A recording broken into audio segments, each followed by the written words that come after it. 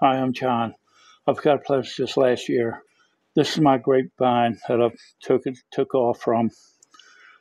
Uh, my grapevine this year that I planted last year, and this is my grapevine last year right here. I took from a stub, which you can see. The stub is right down here. That was a stub, stub, about this size, right here. That I took and planted, um, got from Lowe's. I just took a knife up there and just cut a piece off from it. And I planted it didn't think it was going to work out.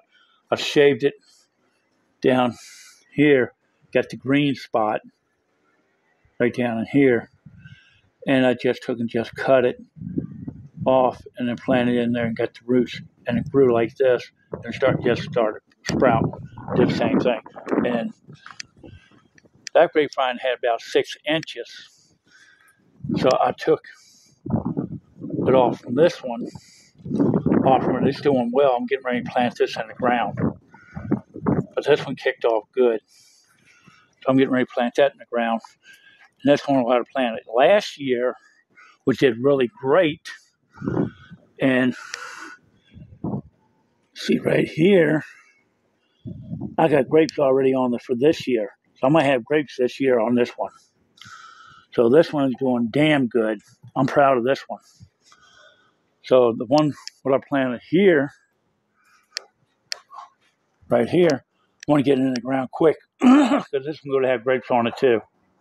So that's it, you two. That's how you do it. Just taking just when you got grapevines, you just take and shave it a little bit. I did it earlier. You shave it about right up in here, get the green spot and you want to take and cut the stub out right here.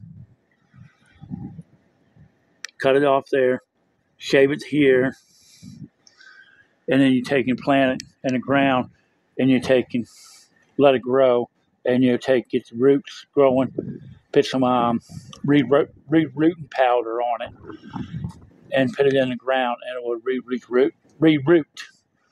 So you have grapes on it. So that's how you do it. That's it.